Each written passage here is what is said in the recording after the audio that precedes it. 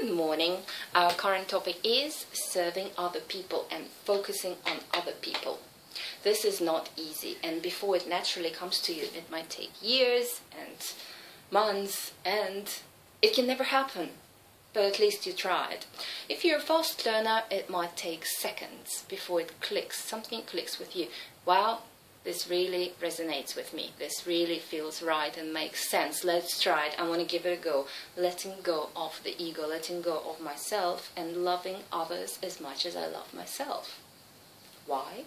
Because I have this desire inside of me to be of use, to be of service. I see how much pleasure it brings to make other people happy. Be it women, be it your kids, your wife, or just general people around you. Okay, and to make this easier, we are going to do some case studies of you.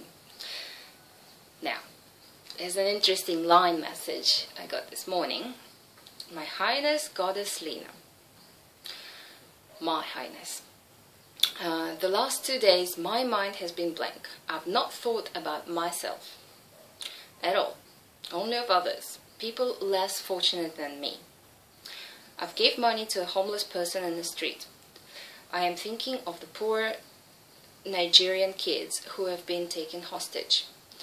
It's came it's come it's it came to me two days ago after seeing your video how selfish I've been thinking of myself before others. I've always helped people in the streets. That's me all over giving away. It's in my nature. And so on and thank you for sending this message. Of course, I'm not going to mention your name. You know who you are.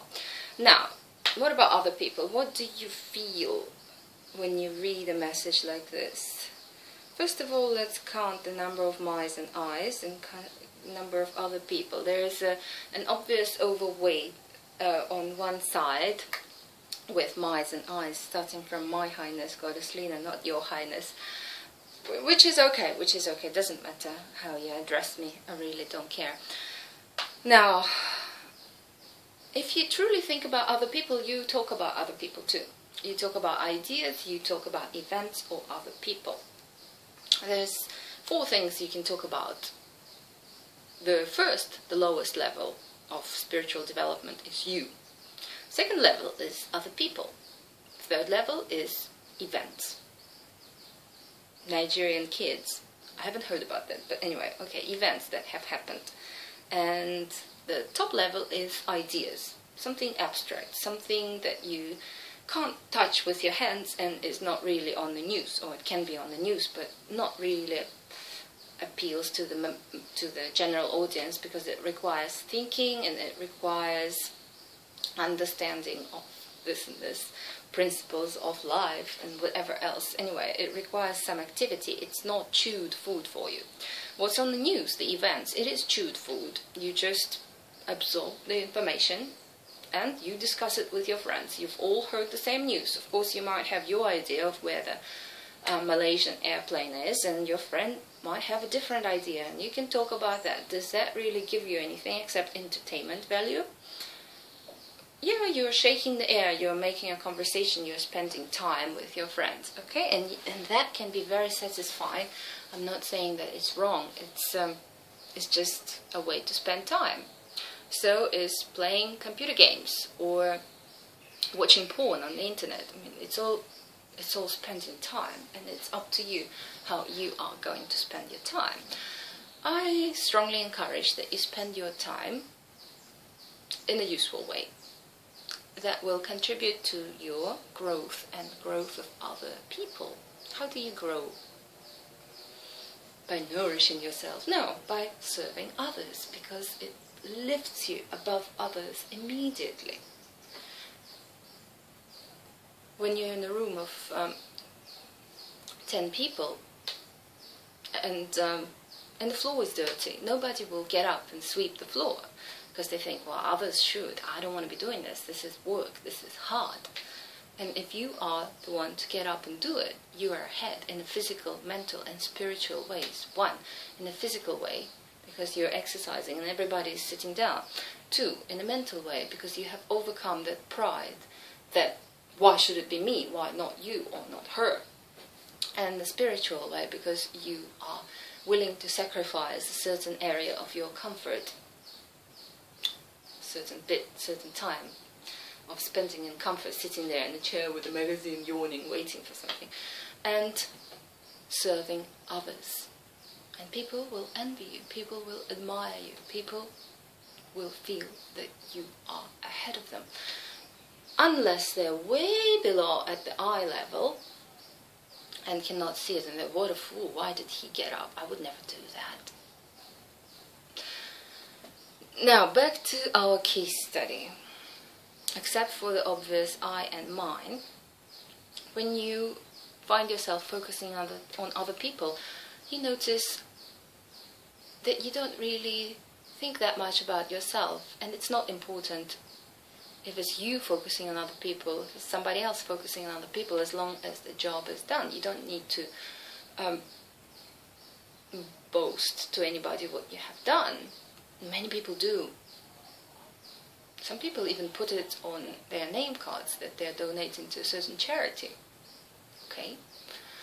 Um, now, the less fortunate part, less fortunate, people who are less fortunate than us, we are not to decide who's less fortunate or more fortunate. If you feel that you are more fortunate than anybody else, that only points to you being less fortunate than everybody else because you create the gap. You put yourself in the position of deciding who is less fortunate than you and what, what fortune is. Would you say that these Thai people living here who only have one car and a house of two stories and not three stories are less fortunate than the people who have two cars and a house of three stories? No, you wouldn't say this because they have not reached that level of greed and materialism yet where they're satisfied with three family members and just one car. Okay. It's sort of still not up to the European standards, but um, definitely not less fortunate. Or person without the car at all. Maybe that is their choice. Maybe that's how they were born. And people, if they were born into some sort of society or community, or say in a poor country, they don't realize that they're the less fortunate ones because okay they might not have the, the lego but they have sticks to play with they have stones how is that worse than lego they play with nature they play with their friends they don't have ipads is that less fortunate than the kids looking at my friend's kid he's stuck to the phone he's begging daddy most of the day daddy can I, please take your phone. Why? Because there's Angry Birds on the phone. And he can play Angry Birds. And he's so absorbed in the Angry Birds that all the other kids walking around do not matter to him. So, is this being less fortunate or more fortunate? The daddy, yes, he has a Samsung Galaxy Note 3. And um, it's great. He can play games. The sound quality is good The kid is fortunate. They also have a tablet and another phone and lots of games and lots of toys. But what does that do? In the long run, that removes the person from interaction, personal interaction with other kids. When you see in Thailand, although many people do have iPads and, and so on, people still play together. They run around jumping on sticks and whatever else. They play with each other. They learn how to build relationships. They learn how to not shoot angry birds, but how to how to make friends with each other and how to resolve conflicts, interpersonal conflicts. I think that that is more more valuable. Okay, you can say there are educational games. Yellow, you click on yellow. Blue, you click on blue. But um, observing the kids, they're not really interested in the educational games, they're more interested in the time wasting games. Okay, yes, there is some value in it. Your thumbs and your index fingers get really fast with clicking here and there. There is something that it does, but I think that the real world does a lot more. Getting back to less fortunate than us, we are not to decide who is less fortunate and who is more fortunate. So assume, accept the truth that we are all leveled, that we are all on the same level. The only way to raise yourself above above others is by hard work. Hard work, not for your own benefit, not to make more money and buy a bigger house, but by serving others, by being below them. You can only be above by being below. This is not a game of words. The person will submit to you only realizing that you are humble and that really it's by their own will that they want to submit to you, that they want to be beneath you because they know that you can lower yourself down in front of others, that you can be modest, that you can be humble, that you can be serving others and sacrifice certain things that you value for others. This is what brings out love in people. This is what makes others care for you. You being below them. And once they see that you are willing to go all the way down, you are raised by others. They look up to you because this is natural. It is in us. When they see that somebody is following the rules of nature, the purpose, serving its purpose of life, of being there for other people, people admire you. People admire people who sacrifice themselves. People admire good leaders. People admire people who do not serve themselves and are not full of themselves, who do not get all the wealth in the world just to be rich, just to have everything I want to have, and maybe throw this and that to the charity now and then. But not because I care about what the kids want. People who donate to the charity very rarely would actually want to go to the charity and physically help. Say, wash the floor in the orphanage. What? Yeah, I can send them a hundred bucks, but go there and actually wash the floor with my hands? No, thank you. And this is real charity. Money is appreciated, surely, but it's easy. It is an easy way out, and it's an easy gratification of, oh, I've done something good. I've helped the charity. What charity? Don't really remember. Where is it? Don't really know. What sort of people are in the, in that charity? Who who's helping who? Uh, not really sure, but I'm sure they're doing good work. I've read their brochure. Okay. Helping the animal shelter. Have you ever been to the animal shelter? It stinks. And there's dog shit everywhere. Yeah. Would you want to go? Surely not. Would you send money? I do. Maybe you would too. But what would be really hard to do would be the real sacrifice. The real sacrifice would be put on your old clothes, go there, and say, What can I help you with today? Surely they would not refuse. They would say, Well, you can clean the dog shit from the floor. There's a bucket, there's some gloves, there's whatever. And you would do that for two hours, three hours of your weekend all the hair in the air, all those sick dogs hit by cars, moaning. You know, there's blood on the floor. Who knows, you can catch some sort of disease, the virus. Disgusting, right? Now that is real charity, that is the sacrifice. What about what about helping the beggar on the street, the homeless person? Talk to him. Talk to the homeless person why are they homeless? What drove them out to the street? Do you want to know? No, we don't really have time for it. Does anybody want to know? Yeah, I kind of wonder, but if I sit next to him, who knows what sort of disease he has? Okay, that you might catch, sure. Helping the homeless. Find the cause why they're homeless. If you're listening now, you know who you are. M. Hmm. Don't know if you have a number. Oh yes, you have a number. Three, six, three, eight. Next time you see that homeless person, Talk to them and find out what drove them out to the street. Try to solve the cause. Because by giving money, you're probably contributing to their alcohol addiction. Probably. This is just one of the versions. Drugs, gambling, irresponsibility, whatever else. Giving money sometimes is not the right help, the right sort of help, unless you really know that it's one off and that by accumulating a certain amount, that person will go and do something with it, something that would actually solve their problem. If a homeless person has been homeless for the last 10 years, you realize that there is something wrong at the core. We can all be homeless at some stage, but some of us will think, okay, I might go and get a job, sweeping the streets, and get an income, and rent a little room. Okay? And not be homeless in a year, because I can pay my own rent.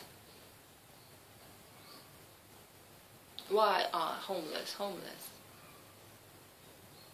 I'm not asking you why are orphans orphans. It's, it, that's not up to us to solve. But say with the homeless person, the less fortunate than you. Maybe he's more fortunate. He doesn't have to work. Well, it is his work, sitting there begging for money. Is he disabled? Take him to the organization that helps disabled people, that gives them something that they can do and there's many things that can be done.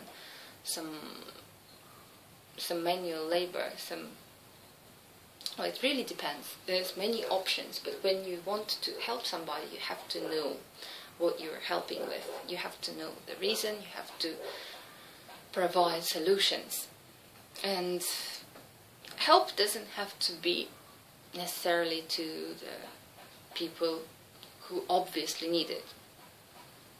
They don't obviously need it. We're used to think. We used to think that people obviously need it. Certain charities and so on. But there is a lot more to it. There is a lot more to it. People who are equal to us, i.e., everybody. People need help every now and then, and they might they might be more rich than you or more poor. It doesn't matter. They still need help they still feel emotional downs and ups. And your job is to let go of the I, I, I. What do I want today? Oh, does this itch? Does that does that feel right? Oh, is this beautiful enough? Or am I looking fine? Or me, me, me, what am I going to do today? What am I going to eat? Who is going to come up to me and talk to me about me so I can talk, tell them all what I think about me? Once you're away from that, you notice, oh wow, this is actually an interesting world to exist in because there are so many different people. Wow, and all have something to talk about, and all are so different. How exciting! Let's let's listen to that person. Let's talk about that person. Tell me more. Asking the right questions. Identifying what the people need. How you might help. It's not giving ten dollars. It might be giving a smile. It might be asking the right question that will lead the person to the right answer that will change their life. A student who just graduated from high school thinking, well, should I go, go work or go study more? And there is nobody to talk to them. Parents, sure, they give them pocket money. Oh, you must go to college. I don't care what you think, you must go to college because that's, know, you're going to get a good job and just like everybody else, this is what we hope for. But do you actually talk to people like that? Do you find out what is in their soul? What is stopping stopping them? Are there any self-esteem issues? Or any confidence issues that you can solve by a 10 minute or a 20 minute conversation that will help that person in choosing the right direction in their life? Examples are endless. Case studies are endless too can take any message that I have received today and study it. Um, now this this is from a good student. Now maybe one is enough. Oh, we're almost 20 minutes. Okay, let's end it here. Have a good day.